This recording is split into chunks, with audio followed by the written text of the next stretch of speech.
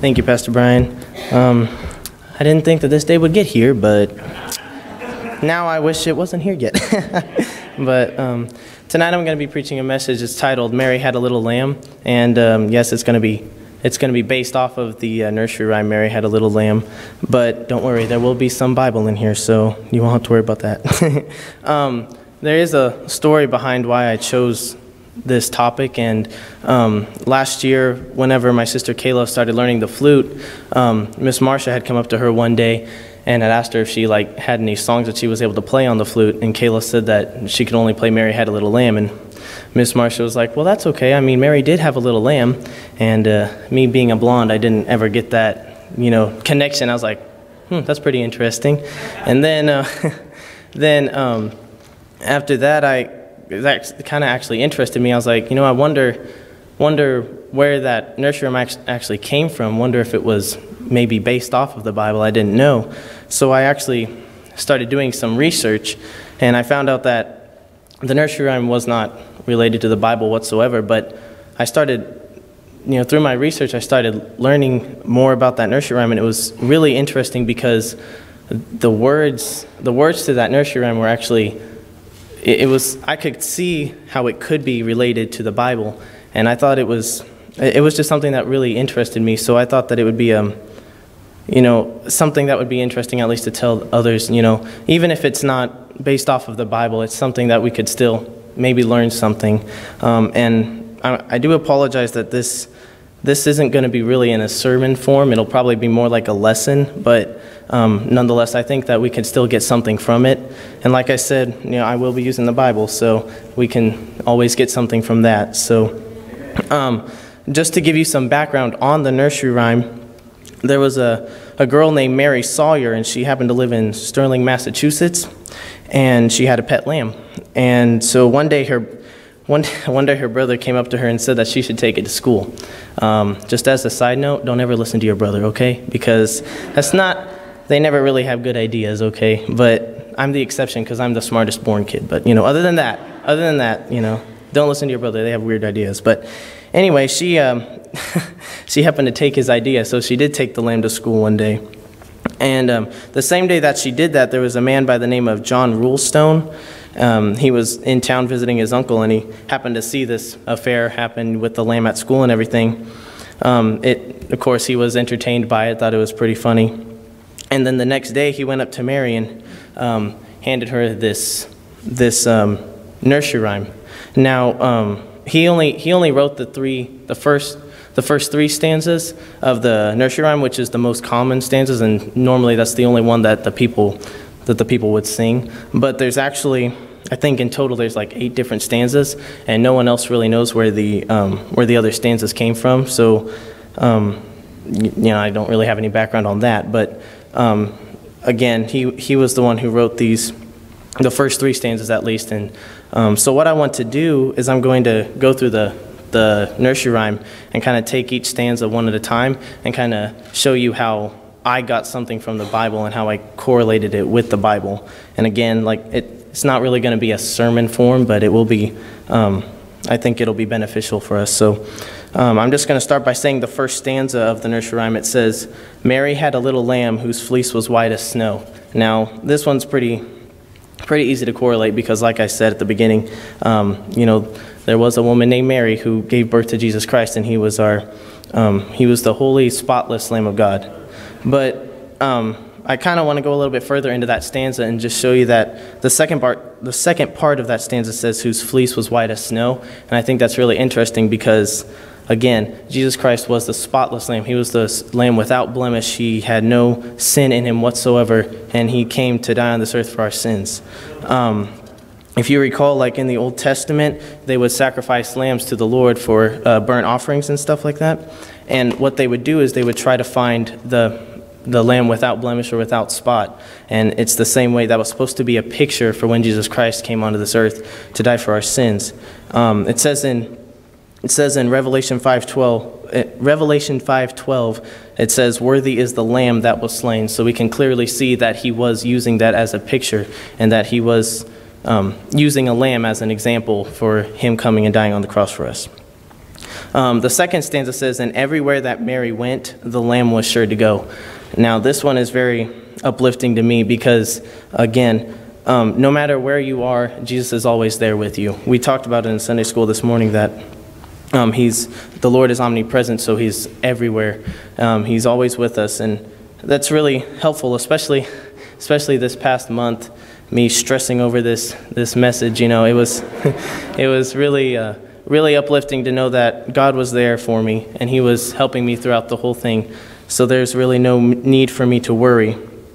Um, if you would please, if you turn your into your Bible to Hebrews chapter 13 and verse number five.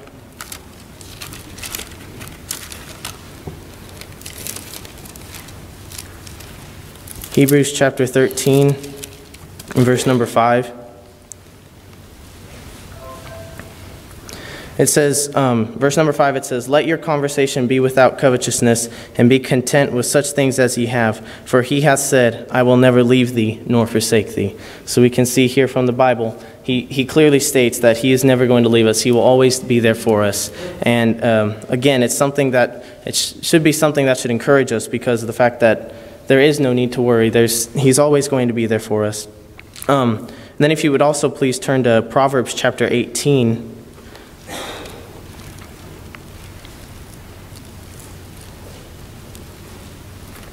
Proverbs chapter 18.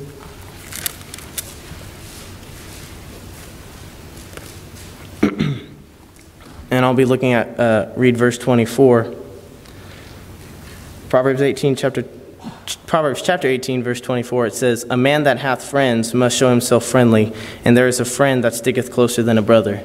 Now, the reason I wanted to read that verse is because I just wanted to say that not, not only is he always there for you, but he's your friend. So he's, you know, no matter, no matter what you're going through, he's going to be there to help you and guide you through anything that you're going through. Again, that was very helpful to me as I was preparing for this message to see that you know, there's again, there's nothing for me to worry about. He's going to be there, and the same for all of y'all. It's He's there for us. He's never going to leave us nor forsake us, and it's something that you know, hopefully, is very uplifting to y'all as well. Um, so then, the next stanza of the nursery rhyme it says, "He followed her to school one day, which was against the rules." Now, the the nursery rhyme wasn't the way I'm correlating with this this stanza with the Bible, it doesn't necessarily it's not the same meaning that the nursery rhyme had intended for it, but just for tonight's purposes, it says he followed her to school one day, which was against the rules, and. Um, nowadays, especially especially in the 21st century, people try to do everything they can to get rid of Jesus Christ in their lives. Um, especially especially in schools, just like the stanza says, it was against the rules. A lot of people try to get rid of him um, in schools. You know, they uh, in, just in their lives in general. They don't want to have to answer to someone. They want to be their own boss. They want to do whatever they want. So they don't ever they don't ever want to have to answer to Jesus Christ, so they try to get rid of him and they try to come up with all of these things they can to try and get him out of their lives so that they don't have to answer to him. Um, you don't have to turn there, but in Matthew chapter 2, verse 3, it says that uh, when, when King Herod finds out that um, Jesus Christ was born, it says that he was troubled um, King Herod was afraid of losing his throne. He, he wanted to be in power, and he, lo- he loved the power, he loved the throne, and he didn't want to have to give that up. So whenever he found out that Jesus Christ was here, and they were calling him the, the King of Kings and Lord of Lords, he, he was troubled. He didn't want to, again, he, he himself did not want to answer to anybody. He wanted to be the person who was in charge. He wanted to be the one to make all of these rules.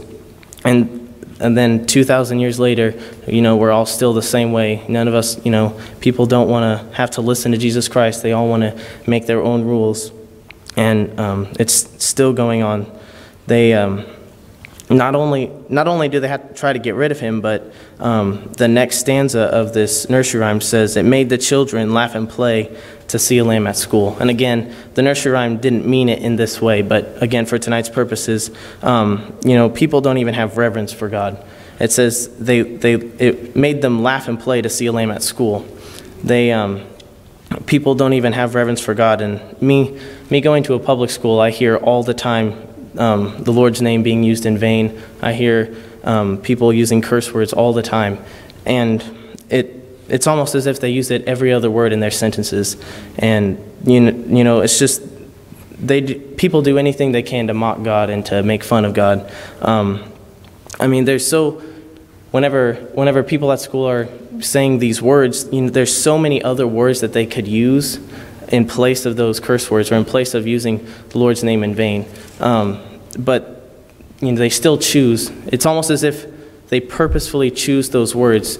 And um, again, from what from what I've seen going to public school, it seems like if you're not saying those things, it almost see, it almost seems as if you're a wimp or afraid to say anything like that, and you're not the cool kid unless you're doing those things. And so, just um, all the all the different ways that people try to mock God and make fun of God, it's something that's a, a real problem in today's world. And again, it says, "May the children laugh and play." They just don't. They don't have any reverence. They don't show any reverence whatsoever. If you would please turn to Exodus chapter 20.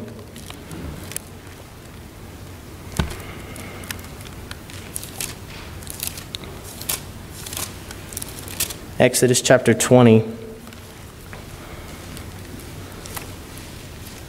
And in, in verse 7, it says, Thou shalt not take the name of the Lord thy God in vain, for the Lord will not hold him guiltless that taketh his name in vain.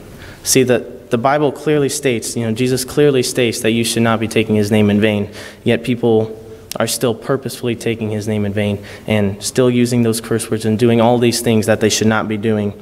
And, you know, it's something that we need to be careful of because you know it's going on in our world. We need to be careful not to do it ourselves. You know there are times where you know even us as christians will have these dirty thoughts or something like that but um, we need to remember that you know we're supposed to be serving god. We're supposed to be praising his name not using his name in vain.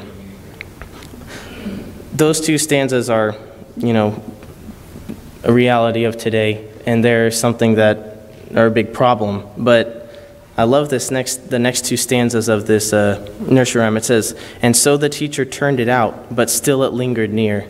He waited patiently about till Mary did appear. See, the, fir- the, the first part says the teacher turned it out, talking about the lamb. The teacher tried to get rid of the lamb, turned the lamb out of the school, but still it lingered near. See, the world can do all they want to try and get rid of Jesus Christ, but no matter what, He's still going to be there for us. He's always going to be there. He'll never forsake us, leave us nor forsake us. Um, again, it's something that's very uplifting. You know, again, no matter what we're going through, He's always there, and He'll always be there for us. Um, and then it says, He waited patiently about till Mary did appear. And you can, you can take this stance in a couple different ways because, again, He's going to be there for you no matter what, no matter what the world tries to do. But also, as Christians, you know, a lot of the times we stumble and fall, and we, um, we fall back in our, in our spiritual lives. But again, Him being there, He's going to wait patiently. Um, no matter what we do, you know, ourselves, not just the not just the world around us, but us as Christians, no matter what we do, um, you know, He's still going to be there, and He'll be willing to forgive us. Again, Him. Um, being our friend that sticketh closer than a brother, he will be willing to forgive us, and he'll um, he won't hesitate to forgive us as long as we confront our sin with him. Um, the last two stanzas of this um, nursery rhyme. It says, Why does the lamb love Mary so? The eager children cried. Why Mary loves the lamb, you know, the teacher did reply. Now, here's the only, here's the only part of the nursery rhyme that um, does not go along with the Bible because here it says, it says, Why did the lamb love Mary? And then it says, Because Mary loved the lamb. But really, it should be the other way around. You know, why do we love Jesus Christ? Because he first loved us. And that's the way we should be that's the way we should be treat, you know, living our lives. You know, it's not like I'm again, Jesus is omnipresent and he, he never ceased to exist. He never will cease to exist. He's been here before us. He knew about us before we were in our mother's womb. And he loved us even before we were born.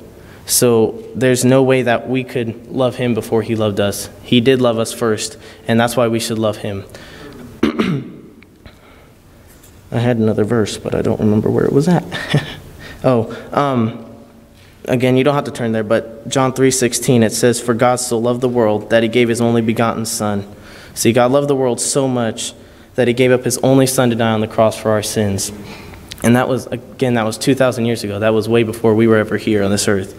So, um, you know, we can see through that that, that God loved us first, and because of that, we need to love Him. It, again, I apologize that this wasn't really a message, and I know it wasn't very long. We're probably going to get out really early, but um, there are some things I do want you to get from this, um, even though there wasn't a main a main point to it, and it was more of a lesson form. Um, there's still some things that I think we can get from this lesson. And the most important thing is that Jesus Christ died on the cross for our sins, and that He loved us enough um, to give up, give up His only Son. And even though we were sinners, and again, with the analogy of um, um, us, you know, my friends at school and all that stuff, um, using God's name in vain, cursing, all that stuff, all of the sins of this world, yet Jesus still was willing to give His only Son to die on the cross for us. And that's the most important thing that I would like for y'all to get from this, is that you know, if, you, if you're here and you're not saved, now is a great time for you to get saved because we have no, we don't know if we're going to, we are not promised tomorrow. You know, the Lord could come back or, you know, we could pass away, anything like that. But if you're not saved, that's the most important thing. You need to get saved before it's too late so that we can spend eternity in heaven and not in hell. Um, but another thing I want y'all to get is that He will always be there for us. You know, we don't have to worry and I know I, I had the trouble of that again this month, just stressing over this message. But every time I went through it, every time I practiced it, when I came to the end of this, I realized, you know, there is no reason to worry. You know, God is always there. And, uh, you know, it's just, it's, I'm not doing this for y'all, even though we can get something from it, but this is to glorify God. And it's something that, that was something that really helped me through this was to remember that this is for God and we're here to serve Him. And part of that is by witnessing to others, telling others about Jesus Christ. But we need to remember that He's there for us and that He will never leave us nor forsake us. Um, that's the end of my lesson. I know it was know it was short, and I'm sorry for that. But um, I pray that you know you at least be able to get something from it, and maybe walk away, and you know maybe that will help you at least maybe help you see nursery rhymes in different ways. But anyway, that's it, Pastor Brian.